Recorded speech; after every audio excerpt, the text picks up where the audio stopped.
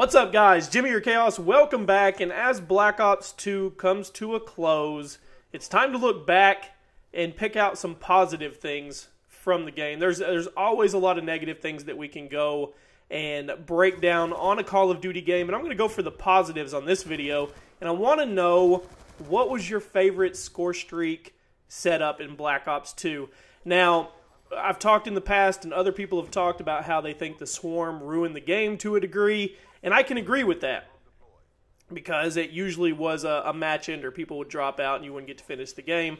But even with that being said, there was a lot of cool combinations for score streaks in Black Ops 2. And the score streak system was one of the best things that that the game brought to light. I hope it carries over well, it's it's carrying over kind of into the next game, not exactly, but I think the score streak system was the best system we've had to date. So hopefully Ghost point system will will be as good or better. So a lot of you know if you watch me, you've seen videos in the past. My favorite setup, my go-to setup if I want to have fun, want to get a lot of action is the hunter killer drone, the Hellstorm and the Lightning Strike. And then if you package those with Hardline as one of your perks, you can if you go on any bit of a tear, especially if you're playing domination, like I'm playing here on Dig. Uh, this is the second half of a domination. I didn't. There wasn't a lot to show in the first half, but I just went nuts in the second half and rotated through these streaks three or four times at least. And you can do that with ease. If you have hardline on, and that hunter killer drone picks you up one or two kills, you're almost to your Hellstorm. If you get a flag cap, you've got your Hellstorm and your Lightning Strike.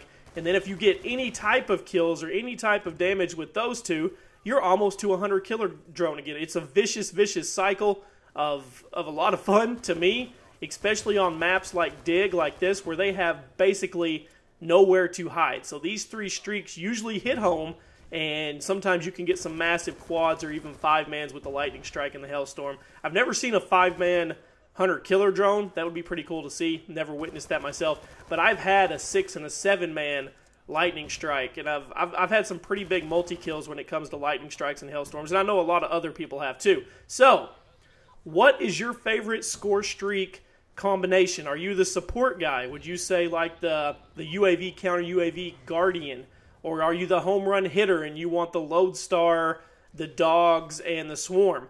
If I had to pick a second streak that I like the most, I would say it's going to be the Stealth Chopper, the VSAT, and the Dogs. If I want to go bigger kills, which doesn't really, that for the last couple months, that has not been what's on my mind. It's just been playing the objective, having fun, and seeing how big of a score I could get as opposed to worrying about the kills. But if I wanted to go big on the kills, I usually go with something like the Stealth Chopper, the VSAT, and then the Dogs. The VSAT's a good connector from the lower Stealth Chopper up to the Dogs. I don't use Swarm.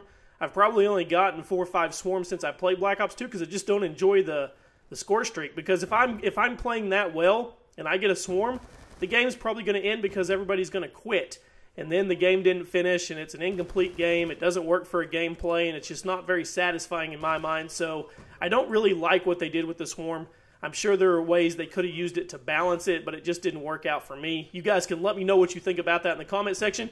And over the next couple weeks, maybe we'll look back on some other stuff from Black Ops 2 since it's coming to a close. There's not going to be a lot of Black Ops 2 content on this channel once Ghost gets here. Probably not any at all unless it's going into a best in COD history, worst in COD history, or a look back on something.